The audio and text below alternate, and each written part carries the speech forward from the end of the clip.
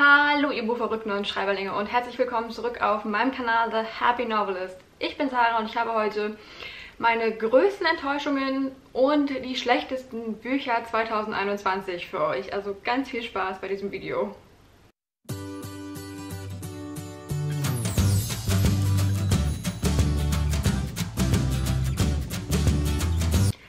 Es ist an der Zeit. Nachdem ihr im letzten Video meinen allgemeinen Überblick über mein Lesejahr 2021 mit Lesestatistiken und allen gelesenen Büchern bekommen habt, geht es heute los mit dem tiefergehenden Einblick und wir fangen direkt mal mit dem juicigsten, teilweise auch beliebtesten oder unbeliebtesten Thema in dem Sinne an und zwar meine schlechtesten gelesenen Bücher und auch meine größten Enttäuschungen. Die letzten Jahre hatte ich eigentlich immer nur Enttäuschungen dabei. Dieses Jahr habe ich aber auch mindestens ein Buch, das einfach objektiv schlecht ist, also meiner Meinung nach zumindest. Das hat mich so aufgeregt und ich wünschte mir fast, ich hätte es abgebrochen, habe es aber nicht. Äh, da vielleicht auch der Hinweis, es gibt auch noch ein extra Video zu meinen abgebrochenen Büchern. Also alle Bücher, die ich abgebrochen habe, aus diversen Gründen, die werdet ihr dann im Sonntagsvideo gesammelt bekommen. Und lasst euch verraten sein, das waren einige. Auf jeden Fall wesentlich mehr als in dieser Liste ist und auf jeden Fall auch um einiges mehr als im letzten Jahr was ich gar nicht gedacht hätte. Aber heute geht es um die Bücher, die mich einfach enttäuscht haben, bei denen ich reingegangen bin und was anderes erwartet habe, potenziell mehr erwartet habe, Bücher, teilweise auch von Lieblingsautorinnen, generell sehr beliebte Bücher, gehypte Bücher auf Booktube. Das heißt, hier sind auch durchaus vielleicht ein paar kontroversere Meinungen vertreten. Äh, aber so ist das nun mal mit Enttäuschungen und eben auch schlechten Büchern. Bücherlesen ist super subjektiv, also auch hier wieder der dezente Hinweis. Wenn ihr andere Meinungen habt, dann freut es mich für euch, bis auf das letzte Buch. Da denke ich mir dann so, das sollte vielleicht nicht unbedingt sein, aber Dazu kommen wir gleich und ich habe heute 10 Bücher für euch mitgebracht, die tatsächlich auch so einigermaßen gerankt sind vom, von einer leichten Enttäuschung, leichte Enttäuschung bis hin zum wirklich objektiv schlechtesten Buch. Und damit ich gar nicht so lange drum herum rede, fangen wir direkt mal an, springen in die 10 Bücher rein, die mich 2021 enttäuscht haben. Und verratet mir gerne in die Kommentare, welche Bücher es bei euch denn waren. Gab es Bücher, die euch enttäuscht haben, wo ihr einfach mit anderen zu hohen Erwartungen rangegangen seid oder auch wirklich objektiv schlechte Bücher, von denen ihr euch am Ende gewünscht hättet, ihr hättet sie nicht gelesen, bei denen ihr euch so richtig schön aufregen konntet. Schreibt mir die auch gerne in die Kommentare. Dann können wir uns zusammen darüber austauschen, darüber aufregen und das ganze Negative einfach hier rauslassen, um dann voll positive Energien ins neue Jahr zu starten. Oder so ähnlich. Den Anfang auf meiner Liste macht History of Us vom ersten Moment an von Jen DeLuca, der erste Band der Willow Creek-Reihe, die ja jetzt nach und nach im Küss Verlag erscheint. Und dieses Buch ist jetzt nicht objektiv schlecht. Bei dem Buch ist es ja so eine Sache mit meinen Erwartungen versus was das Buch wirklich geliefert hat. Denn dieses Buch ist einmal ziemlich gehypt und ziemlich gehypt gewesen, bevor es rauskam, allein schon im englischen Sprachraum, wo ich mich ja auch viel auf Booktube und Bookstagram rumtreibe und dann aber auch im Deutschen. Und ich kannte und kenne viele, die dieses Buch und diese Reihe eigentlich sehr lieben, die dieses Feeling und die Handlung und die Charaktere wirklich sehr, sehr mögen, teilweise sehr ins Herz geschlossen haben. Und dann klang der Klappentext eben auch so nach was Ängstigem, Dramatischem, nach einer tollen, spannenden Hate-to-Love-Geschichte mit einem Twist, auch mal mit einem etwas anderen Setting, denn dieses Buch spielt in einer Kleinstadt.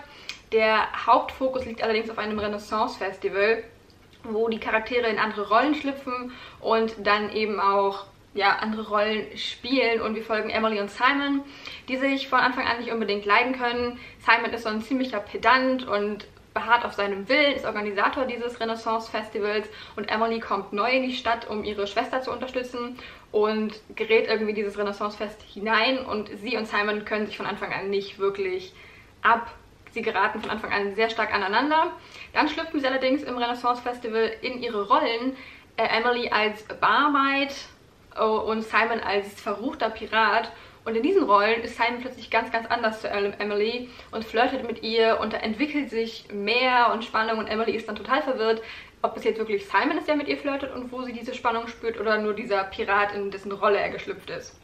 Und das klang halt wirklich so nach, uh, hate love und irgendwie sehr verwirrend und eigentlich mag er sie doch wirklich, doch, doch und versucht sie jetzt so für sich zu gewinnen und einerseits war das auch so, andererseits ist es doch eher vom Feeling auch eher so eine nette Kleinstadt-Romance, die ohne viel Drama auskommt oder ohne viel Angsty-Drama auskommt, allerdings mit viel unnötigem Drama irgendwie hantiert, weil es viel auch darum geht, dass die Protagonisten sich eigentlich nur nicht leiden können, weil sie von Missverständnissen und falschen Annahmen von jeweils anderen ausgehen und da irgendwie, ja, wie soll man das sagen, einfach mal hätten kommunizieren müssen miteinander, dann wäre das alles nicht nötig gewesen. Und auch dieses Renaissance-Festival, was ja sehr, sehr stark in den Fokus gerückt ist, kam mir persönlich ein bisschen zu kurz und spielte immer nur so am Rande eine Rolle. Zumindest wirkte es für mich so. Also das Festival ist für Simon schon irgendwo sehr, sehr wichtig. Aber nur in dem Falle taucht es dann einigermaßen auf, weil wir ja auch das Buch nicht aus Simons Perspektive lesen, sondern nur aus Emilys. Also da hat Simons Perspektive dem definitiv noch um einiges besser getan, was so das Drama angeht, was so die Hintergründe angeht, was auch so das, die Bedeutung des Renaissance-Festivals angeht.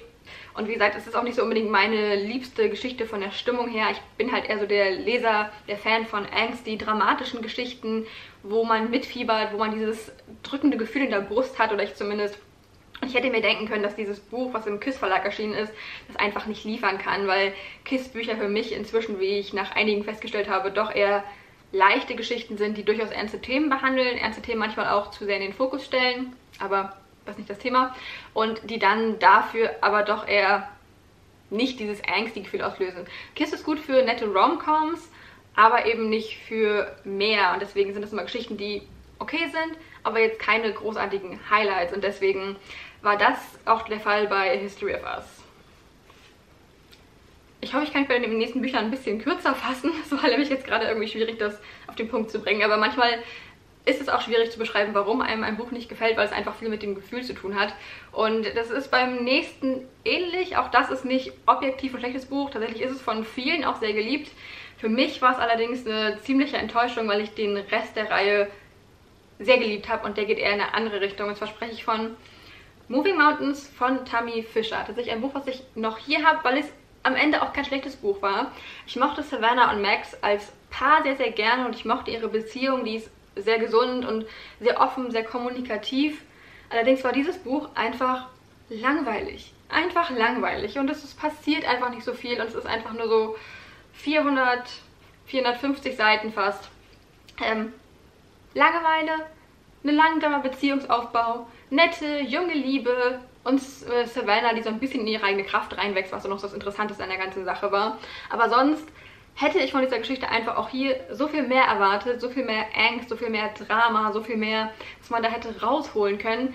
Denn wie gesagt, ich liebe die ersten beiden Bände der Reihe, Burning Bridges und Sinking Ships. Sinking Ships noch so ein bisschen mehr. Das ist so angsty und dramatisch und mitreißend und sexy und einfach nur so, ah, gut. Und da bin ich durchgeflogen. Ähm, Hiding Hurricanes hatte dann auch noch diesen Drama-Faktor. Das war, ging dann aber eher in so eine Richtung, die nicht ganz meins war. Und hatte so ein paar Tropes und Beziehungsmuster, die ich nicht so gerne mochte. Wie gesagt, vor allen Dingen auch so beste Freunde, die zu Liebenden wurden und dieses ganze Versteckspiel, was da eine Rolle spielt. Aber es hatte noch so diesen angsty Unterton und deswegen habe ich mir große Hoffnung eben gemacht auf die äh, Geschichte von Savannah und Max, besonders weil die in Hiding Hurricanes auch schon angedeutet wurde, dass eben Savannah und Max sich über eine Dating-App kennenlernen und nicht wissen, wer der andere ist. Die flirten, hätten fast einen One-Night-Stand, dann kneift Savannah allerdings, nur um dann am nächsten Morgen Max eben im Rahmen ihres Freundeskreises wieder zu begegnen, denn er ist der jüngere Bruder des festen Freundes ihrer besten Freundin. Und auch Max ist ziemlich schockiert, dass er Savannah wieder sieht. Einerseits, einerseits freut er sich, andererseits ist er auch so ein bisschen schockiert, weil er dachte, okay, er würde ihr nie wieder begegnen. Und ja, zwischen den beiden entwickelt sich dann eben eine sehr langsame Beziehung. Die beiden kommen sich wieder näher, nähern sich an, was, wie gesagt, irgendwo zu Savannah auch passte und zu Max und der Beziehung. Allerdings eben als Leseerlebnis doch manchmal schon sehr quälend war und sehr äh, schleppend die gehen dann auf einen Campingtrip und dann wird hier noch ewig lang beschrieben, wie das College-Leben so läuft und wie sie sich doch wieder annähern und wie das doch wieder zurückgehen und wie sie sich dann doch wieder annähern. Und das ist dieses wirklich langsame und schleichende und dass einfach nicht wirklich was passiert, dass die Action fehlt und eben auch dieses Drama. Es war so viel Potenzial für Drama vorhanden. Allen voran mit Savannah und ihrer Geschichte, äh, Familie, mit Max und seiner Vergangenheit und diesem sich überwinden und potenziell wieder in Schwierigkeiten geraten. Potenziell auch zwischen Max und seinem Bruder hätte man Drama aufbauen können und vielleicht wäre das alles ein bisschen viel gewesen. Aber ich mag Drama und ich mag dramatische Geschichten. Ich mag Geschichten, die diese, dieses Gefühl in einem auslösen. Und das konnte eben Moving Mountains leider nicht. Und das war super schade, weil ich mich eben auf die Geschichte mit am meisten gefreut hatte auch. Eben auch, weil ich dachte, Savvy liest doch auch sexy Liebesgeschichten, sexy Highlander Bücher und Geschichten. Warum ist ihre Geschichte dann nicht ein bisschen mehr in die Richtung, ein bisschen mehr mit Tempo, ein bisschen mehr mit Action, ein bisschen mehr mit Sexiness. Aber leider konnte Moving Mountains das nicht liefern, deswegen für mich der schwächste Band der Reihe, obwohl ich weiß, dass viele ihn irgendwie mit als stärksten empfinden und ihn ganz, ganz stark lieben, aber es war einfach kein Buch, was mich mitgerissen hat und was mich jetzt bewegen konnte und deswegen hat es es auf dieser Liste geschafft. Nächste Enttäuschung, die wir ziemlich schnell abhandeln können und das ist Rhapsodic von Laura Celeste, der erste Band der Bargainer-Reihe, Bargain, der Bargainer-Trilogie, wo es noch so einen Zwischenzusatzband gibt. Diese Reihe habe ich vor allen Dingen mit zur Hand genommen, weil Becker von Becker and the Books sie in den Himmel gelobt hat. Sie liebt diese Reihe abgöttisch und sie liebt vor allen Dingen den männlichen Hauptprotagonisten Desmond Flynn. Denn das ist eine, ich könnte schon sagen, Fey-Romance, düstere Fey-Romance, die auch in die Richtung von Das Reich der Sieben Höfe gehen sollte und vor allem Desmond Flynn sollte eben sein wie Resend, nur besser. Und I didn't see it. I didn't see it. Also ich verstehe schon so ein bisschen diese Parallelen mit Das Reich der Sieben Höfe im entferntesten Sinne von der Beziehungsdynamik, also vor allen Dingen zum zweiten. Und ich verstehe im entferntesten die Ähnlichkeiten, die zu Resend gezogen wurden, aber Desmond Flynn kann für mich mit Resend so überhaupt nicht mithalten, also so gar nicht. Und diese dieser Plot-Twist, der am Ende aufkam, war für mich einfach, noch so, einfach nur so, seriously, das ist so ein bisschen, also diesen Plot, diese, nach diesem Plot-Twist fühlte ich mich so wie nach dem Ende von How I Met Your Mother.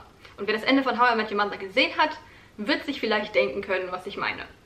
Es war einfach ein sehr unbefriedigendes Ende und ich weiß, es gibt noch zwei weitere Bände dieser Reihe, aber da hatte ich jetzt wirklich überhaupt keinen Bock zu, besonders weil ich dann diese Beziehung der beiden Protagonisten auch nicht wirklich glauben konnte, dem nicht, das nicht wirklich gefühlt habe, besonders nach, dieser, nach diesem Plot-Twist eben. Am Ende dachte ich mir nur, ich saß dann wirklich und dachte mir so, ernsthaft? Ernsthaft? Ernsthaft? Ich dachte, es wäre jetzt irgendwas Cooles, irgendwas Krasses und irgendwas von außerhalb, aber nee, Nee, und es hat für mich auch überhaupt nicht die Vibes von Das Reich der Sieben Höfe aufbringen können, überhaupt nicht die Gefühle, die ich beim Lesen des, vom Das Reich der Sieben Höfe gefühlt habe was ich ja rereadet habe, deswegen kann ich das jetzt auch im Rückblick sehr, sehr gut vergleichen. Und wie gesagt, Desmond Flynn kommt bei weitem nicht an Resend ran. Resend ist einfach, ist und bleibt einfach einer meiner Book-Boyfriends schlechthin, obwohl Rowan da auch ziemlich weit oben ist. Aber dazu kommen wir dann bei meinen Highlights. Und ja, nee, also The Bargainer, äh, Rhapsodic, nicht meins. Wenn ihr es liebt, freut mich das sehr und ähm, kann ich auch durchaus verstehen, wenn man, glaube ich, mit anderen Erwartungen in diese Geschichte reingeht. Aber so wie ich geprimed war mit, es ist wie das Reich der Sieben Höfe, nur besser oder es ist wie Recent, nur besser. Nee, definitiv nicht. Die nächsten zwei Bücher sind Bücher, die ich eigentlich hätte lieben sollen, aus unterschiedlichen Gründen. Wir fangen mal an mit Punk 57 von Penelope Douglas. Das ist wirklich so eine dieser angsty Teenie-Drama-Geschichten, Highschool, New Adult Romances, die eben sehr auf diese Schiene gehen. Okay, sie sind angsty, überdramatisch, einfach absolut unrealistisch, teilweise auch nicht wirklich gesund in der Beziehungsdarstellung, aber normalerweise genau das, was ich eben liebe, so in Richtung LJ Shannon und ja, alles, was da so mit zu tun hat. Allerdings, weiß ich nicht, habe ich es bei Punk 57 einfach nicht gefühlt. Ich weiß nicht, ob es am Schreibstil lag oder an der Beziehung der beiden Protagonisten oder was da so los war. So rein objektiv von dem, was ich von mir weiß und meinem Lesegeschmack, hätte das ein absolutes Highlight sein können und ich habe auch fast erwartet, dass es ein Highlight wird. Aber irgendwie hatte ich zu dieser, Be zu dieser Beziehung ja, und zu diesem Buch keine, keine Verbindung. Und ich habe mich da wirklich schon so ein bisschen durchgequält und habe da relativ, für meine Verhältnisse, relativ lange dran gelesen an so einer Romance. Normalerweise lese ich die innerhalb von, einer, von einem Tag durch, vielleicht mal zwei oder drei, wenn ich viel zu tun habe. Aber hier habe ich, glaube ich, eine Woche dran gesessen. Und ich musste mich manchmal wirklich zwingen, immer wieder danach zu greifen. Was vielleicht wirklich daran lag, dass die Beziehung der beiden Protagonisten schon wirklich sehr strange war und wirklich auch sehr krass war. Also die sind beide auch nicht besonders liebenswert. Und vielleicht liegt es daran, dass normalerweise in diesen Romances von LJ Shen speziell mindestens ein Charakter irgendwo sympathisch ist und liebenswert ist. Und hier eben weder Mika noch, wie hieß die nochmal, weiß ich gerade auch nicht mehr, ähm, mir wirklich irgendwas gebracht haben. Und dann, wie sie sich gegenseitig fertig gemacht haben und gegenseitig behandelt haben, war auch nicht so geil. Also es war am Ende auch hier keine schlechte Geschichte. Ich fand sie am Ende doch auch gut und in Ordnung. Aber es gab viele Elemente, mit denen ich nicht so richtig klar kam, die ich nicht wirklich unterstützen konnte. Auch hier wieder das Beziehungsmuster absolut toxisch und absolut geht theoretisch gar nicht. Was mich normalerweise bei Beziehungen, wenn ich, die, wenn ich das Paar schippe, nicht stört. Aber hier habe ich das Paar eben nicht geschippt, deswegen hat es mich doch vermehrt gestört. Und deswegen, ich glaube, ich bin mit 3, 3,5 Monaten am Ende raus, was ja für mich auch in Ordnung ist. Aber ich hatte eigentlich erwartet, dass es ein Highlight wird. Und deswegen war das so ein bisschen so, hm, Mano, ich wollte, dass es ein Highlight wird. Ein anderes Buch, von dem ich mir gewünscht hätte, dass es ein Highlight wird, wo ich aber auch schon ein bisschen skeptischer reingegangen bin, muss ich zugeben, ist Engelssonne von Nalini Singh. Der 13. Band der Gilde der Jäger-Reihe. Und ich liebe diese Reihe. Diese Reihe gehört zu meinen liebsten Reihen ever. Also allen voran die ersten drei Bände, die ursprüngliche Trilogie um Raphael und Elena. Top notch. Ich liebe Raphael, ich liebe Elena und ich liebe den, die sieben und alle Charaktere, die da so angeschlossen sind. Was vielleicht auch der Downfall, das äh, Negative für dieses Buch war. Denn nach dem gefühlt schon großen Finale in Band, ich glaube 11 und 12 waren es, in Engels Fall und Engels Krieg, wechseln wir hier das Territorium und wechseln hier den Fokus der Charaktere. Denn wir verlassen jetzt Raphael und Elena und die Sieben und wandern nach Afrika zu Titus, zum Erzengel Titus, der eben mit den Nachwehen und den Überbleibseln des Krieges zu kämpfen hat und da Lösungen finden muss und ihm wird eben von Raphael und von den gesamten Erzengeln der Welt ähm, ja, der Engel Charin oder auch der Kolibri, wie sie eher bekannt ist, an die Seite gestellt. Und er ist da erst sehr skeptisch, weil sie eigentlich jemand sein sollte, der sehr in ihrer eigenen Welt lebt. Eigentlich ist sie als Künstlerin bekannt und als sehr ja, mental instabile Künstlerin auch noch. Und er denkt sich so, was soll sie denn da eben groß in seinem noch Nachkriegsgebiet helfen und bringen? Und ähm, so clashen die beiden ziemlich stark aufeinander und es entwickelt sich trotzdem eine Romance. Und dieses Buch hatte einfach viele Probleme meiner Meinung nach. Die Beziehung der beiden war sehr, ich würde nicht, ich würde nicht direkt sagen Installavier, aber sie hat sich sehr schnell entwickelt. Es ging sehr schnell von, hm, wir können uns nicht wirklich leiden, zu, also beziehungsweise wir sind auch sehr von Vorteilen geprägt, zu, oh, doch, hm, ja, wir mögen uns und dann wir sind verliebt und können nicht ohne einander und bäh. Dann ist Sharin eigentlich dafür, dass sie ein jahrhundertealter Engel sein sollte, ein uralter Engel sein sollte, eher wie so ein naives Menschlein, also mehr noch als Elena, die eben ein, also neuer Engel ist. Und das war so, mm, mm. das Buch versucht das irgendwie zu erklären, aber ich konnte da nicht wirklich mit ran. Ich konnte das nicht ganz nachvollziehen und glauben.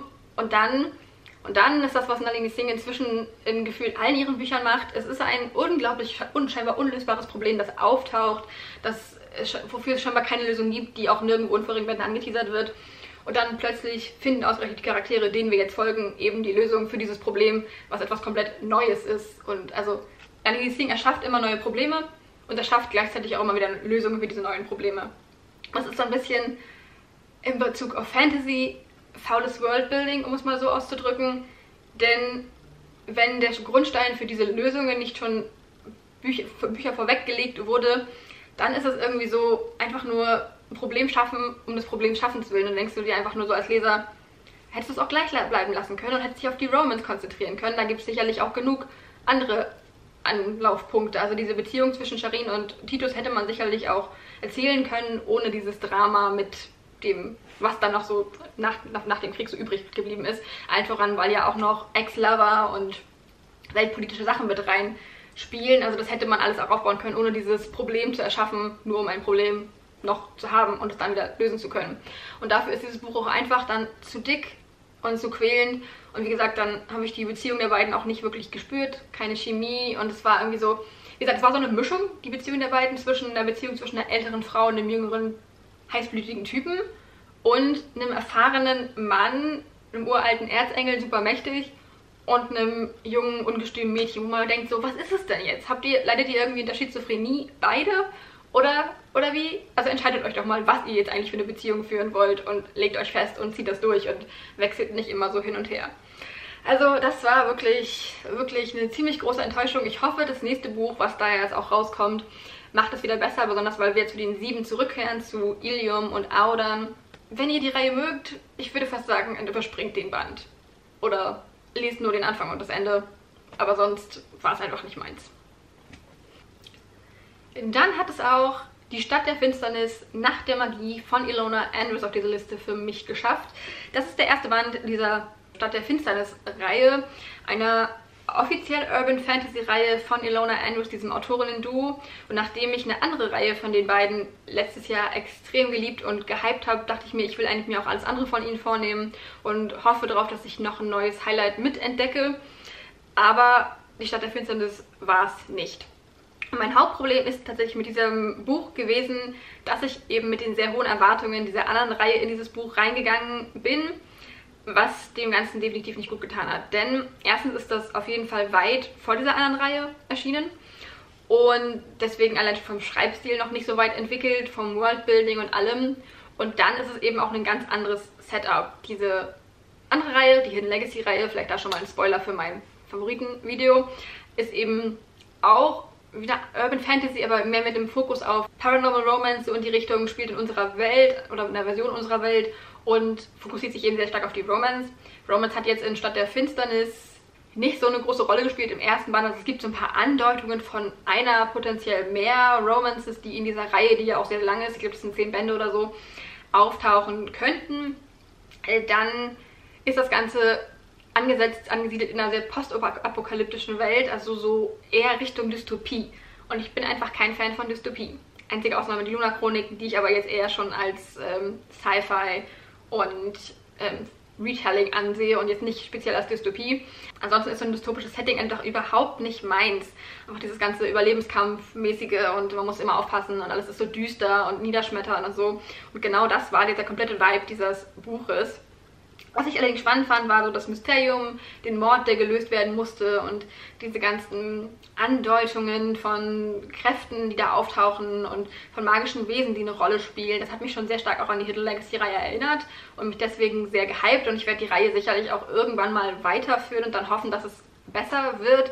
Aber mit den Erwartungen, in die ich in diese Geschichte rangegangen bin, äh, ja, es konnte es einfach nicht liefern. Also da bin ich, glaube ich, auch einfach selber das die, die Latte viel zu hoch gelegt. Und da muss man eben auch dazu sagen, dass der Aufbau der Geschichte einfach auch noch nicht so gut war. Man merkt dadurch, dass es eine der ersten Bücher von Ilona Andrews war und dass sie sich seitdem extrem gesteigert haben. Ein Buch, das die wenigsten von euch überraschen sollte, wenn ihr schon ein bisschen länger dabei seid, ganz speziell seit November, ist Promise of Fire von Amanda Boucher auf Deutsch Tochter der Götter. Der erste Band der Tochter der Götter Trilogie. Auch auf dieses Buch hatte ich mich sehr gefreut, auf diese Reihe generell, denn es klang eben auch noch was, was komplett meins ist. Wir folgen unserer Protagonistin Cat, die ja, aus dem magiereichen Norden geflohen ist und sich bei einem Wanderzirkus versteckt, um eben nicht in politische Machenschaften hineingezogen zu werden. Genau das passiert allerdings, als der Kriegsherr, Kriegstreiber Griffin auf sie aufmerksam wird, entdeckt, dass sie doch magische Fähigkeiten hat und sie dann aus ihrem Zirkus entführt, um sie als politische politisches Mittel irgendwo mit einzusetzen und seiner Familie zu helfen, ihre Machtposition im magiearmen Süden zu unterstützen.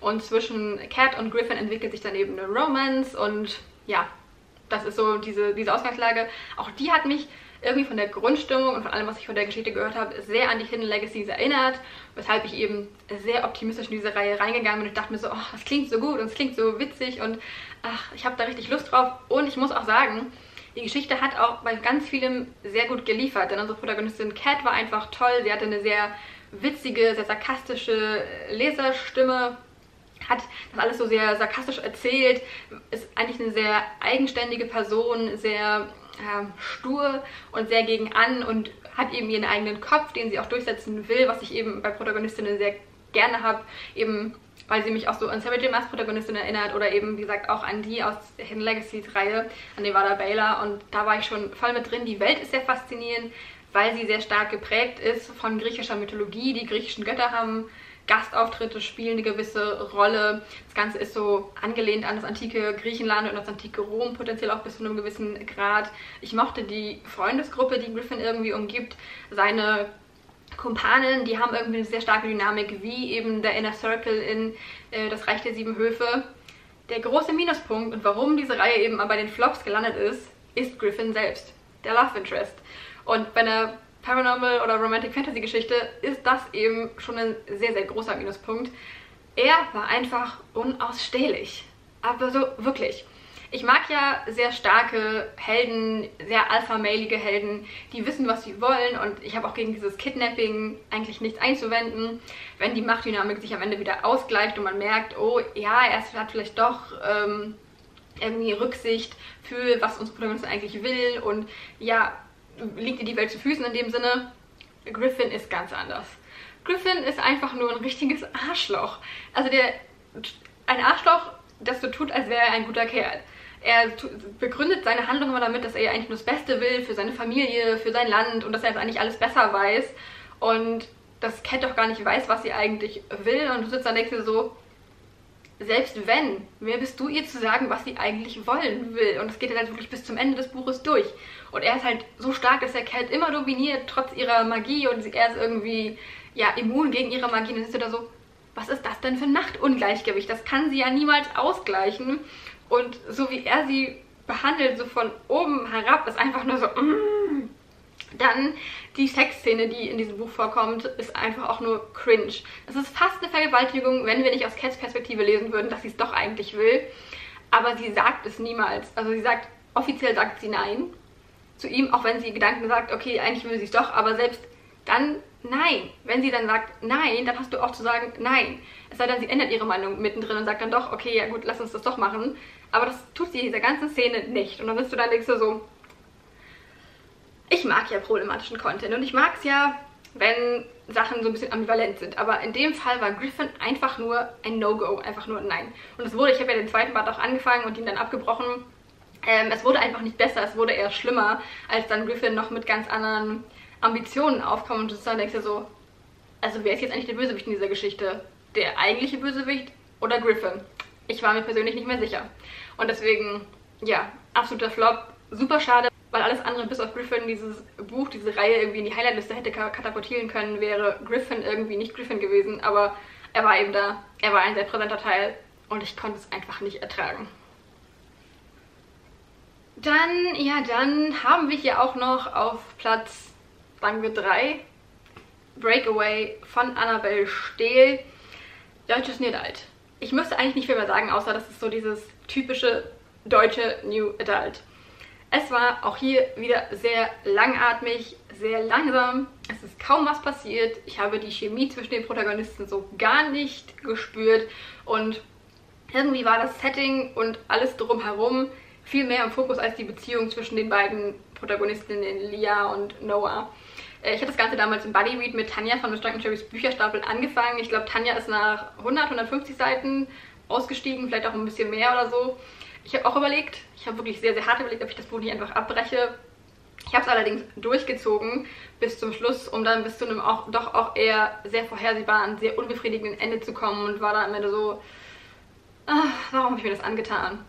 Und warum tue ich mir immer wieder so deutsche, deutsche New Geschichten an, von denen ich doch eigentlich wissen sollte, dass sie nicht meins sind, dass es nichts ist, was ich wirklich gerne lese, weil irgendwie diese Emotionalität viel mehr im Fokus steht und dieses politisch korrekt sein, was ja an sich okay ist und gut ist. Wie gesagt, für mich als Unterhaltungsfaktor, wir kommen nicht so richtig durch. Und wo eben auch die Beziehung nicht im Mittelpunkt steht. Es soll eine Romance sein. New Adult Romances haben die Romance im Fokus. Und ich finde bei deutschen New Adult Romance Geschichten wie auch bei diesem Buch, ist immer irgendwas anderes im Fokus und wird etwas anderes neu aufgegriffen. Und äh, ja, auch so das Drama um Noahs Familie ist irgendwie nicht sein Drama. Eigentlich hat es mit ihm nur am Rande was zu tun. Er mischt sich da allerdings vermehrt ein. Und ich glaube, das ist auch so ein Drama, das sich wahrscheinlich über die kompletten drei Bände der Reihe dann ziehen wird. Wo ich wenig bis gar keine Lust drauf habe. Deswegen bin ich auch so weit, dass ich diese Reihe wohl nicht weiterführen werde, was einerseits schade ist, weil ich Annabelle tatsächlich auch persönlich kenne. Andererseits denke ich mir so, ähm, deutsches New. Deutsches New ist einfach nicht meins und ich glaube, ich muss aufhören zu versuchen, mir das anzutun. Zwei Bücher haben wir noch und zwar kommen wir jetzt auch zu den wirklich schlechten Büchern, meiner Meinung nach. Also dieses Buch ist vielleicht noch kontrovers. Man könnte da diskutieren, dass es vielleicht doch nicht ganz so schlimm und dramatisch ist.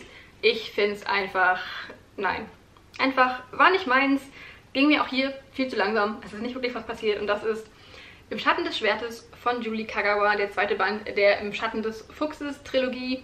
Den ersten fand ich richtig gut. Es war quasi Inuyasha, einer meiner liebsten Animes.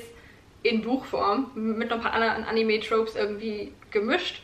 Auch der dritte war dann wieder richtig gut. Habe ich auch wieder sehr gefeiert, obwohl ich ihn wahrscheinlich mehr gefeiert hätte, wenn dieser zweite nicht dazwischen gewesen wäre.